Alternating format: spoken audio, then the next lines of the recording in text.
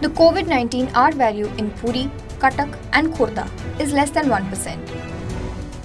This information was shared by Directorate of Medical Education and Training Chief CBK Mahanti on Friday.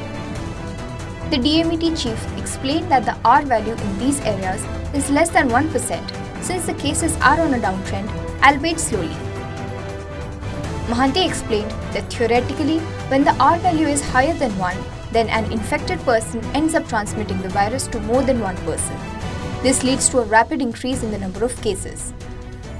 However, since the same pattern is not being observed on field, it indicates that the R value is definitely lower than 1% in Katak, Puri and Khoda. R value অর্থ R ভ্যালুটা গোটা কেতে সংক্রমণক্ষম ଏଇଟା ଆଗରୁ କୁହାହେଇଛି ଆର୍ ଭାଲ୍ୟୁଟା ଯଦି ଏକ ଉପରେ ଥିବ the number of cases progressively ବଢ଼ି ବଢ଼ି ଚାଲିବ ସେଇଟା ହେଉଛି theoretical aspect of R value କିନ୍ତୁ ଫିଲ୍ଡରେ ବା କ୍ଷେତ୍ରରେ କ'ଣ ହେଉଛି ଦେଖନ୍ତୁ ଗଲା ସପ୍ତାହର ଗୋଟେ ଦେଖନ୍ତୁ ଧାରାଟା ସେଥିରେ ଗଲା ସପ୍ତାହ ତଳେ କଟକ କିମ୍ବା ପୁରୀ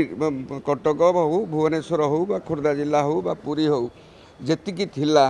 ସେ ଦୃଷ୍ଟିରେ ସଂଖ୍ୟା ବଢ଼ିଛି ନା କମିଛି ଯଦି ଆର ଭାଲ୍ୟୁ ଏକରୁ ଉପରେ ସତରେ ଥାଆନ୍ତା ବା କ୍ଷେତ୍ରରେ ପ୍ରତିଫଳିତ ହେଉଥାନ୍ତା ନିଶ୍ଚିତ ଭାବରେ ସଂଖ୍ୟା ବଢ଼ି ବଢ଼ି ଯାଇଥାନ୍ତା କିନ୍ତୁ ଆପଣ ଲକ୍ଷ୍ୟ କରନ୍ତେ ସଂଖ୍ୟା କମି କମି ଚାଲିଛି ଯଦିଓ ଧୀର ଗତିରେ ତେଣୁ ଆମେ କେମିତି କହିବା ଯେ ଆର ଭାଲ୍ୟୁଟା ଯେଉଁଟାକି କାଲକୁଲେସନ୍ କରାହେଇଛି ସେଇଟା ଫିଲ୍ଡରେ ବା କ୍ଷେତ୍ରରେ ପ୍ରତିଫଳିତ ହେଉଛି ହେଉନି ବ୍ୟୁରୋ